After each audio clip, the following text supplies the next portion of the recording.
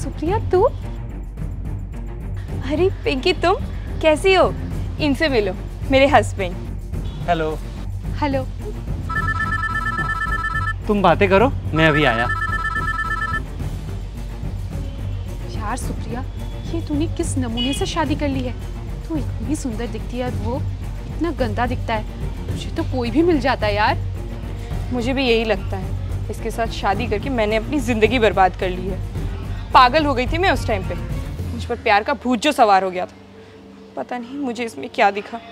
मैं इतनी गोरी चिट्ठी और ये इतना काला कल उठा। मुझे तो इसके साथ बाहर जाने में भी शर्म आती है। मेरे पीछे तो लड़कों की लाइन लगी होती थी एक काम कर, तू इसे तलाक दे दे। ये तूने सही कहा। मैं इसे तलाक दे देती हूँ। तो इसके साथ एक सेकंड भी ना रहो। तू एक साल से कैसे रह रही है? मेरा दम घुटता है इसके साथ। मैं पूरी ज़िंदगी इसके साथ नहीं गुजार पाऊँगी। मैं तेरे तलाक के लिए बात करती हूँ ठीक है?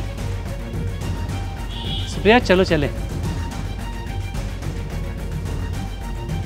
बाय। बाय। ये लो पानी। रहने दो। इस दिखावे की कोई ज़रूरत नहीं है। क्या मतलब? ये लो अपना बैग। जाओ घर। तुम्हें क्या हो गया अचानक? अभी तो तुम ठीक थे। दम घुटता है ना तुम्हारा मेरे साथ? तुम इतनी सुंदर मैं बदसूरत काला। तुम मुझे तलाक देके कोई गोरा चिट्टा लड़का क्यों नहीं ढूंढ लेती? तुम पागल हो गए हो क्या? ये क्या बोले जा रहे हो? मासूम बनने की एक्टिंग मत करो।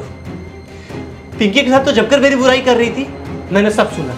तो तुम्हें बुरा लग? रहा है जब मैंने पिंकी के साथ मिलके तुम्हारी बुराई की। जब तुम अपने दोस्त के साथ मिलकर मेरी बुराई कर रहे थे तब तो तुम्हें बड़ा मज़ा आ रहा था। फालतू मत बोलो।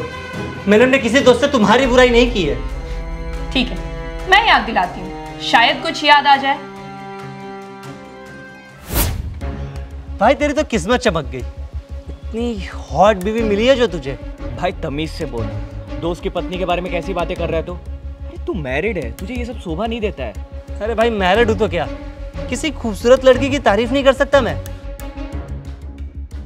तेरी पत्नी भी तो खूबसूरत है। हाँ, क्या क्या खूबसूरत है। मैं तो प्यार के चक्कर में फंस गया हूँ।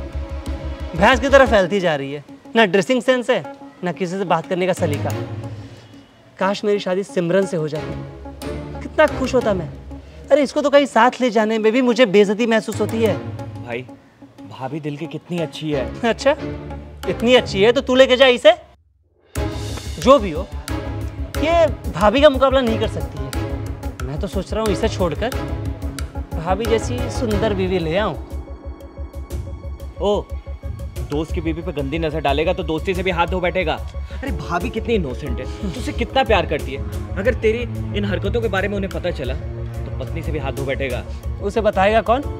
वो किसी काम की नहीं है। उसे दिन दुनिया की कोई खबर नहीं रहती है। बस यहीं रहकर ज़िंदगी भर मेरे छाती पर मूंग डालेगी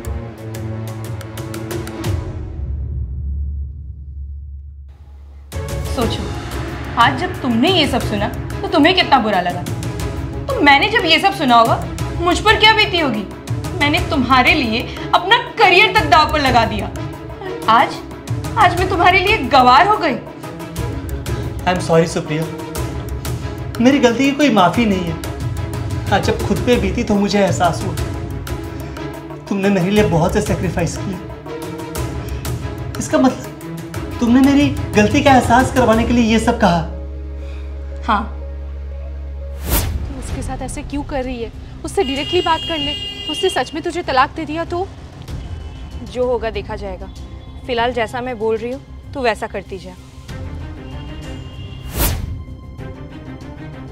पत्नी को एक पति से और कुछ नहीं चाहिए होता है। सिर्फ़ थोड़ी सी इज़्ज़त और प्यार। इससे ज़्यादा कुछ नहीं। सुप्रिया ऐसे मैं किसी भी लड़की को बुरी नज़र से नहीं देखूँगा।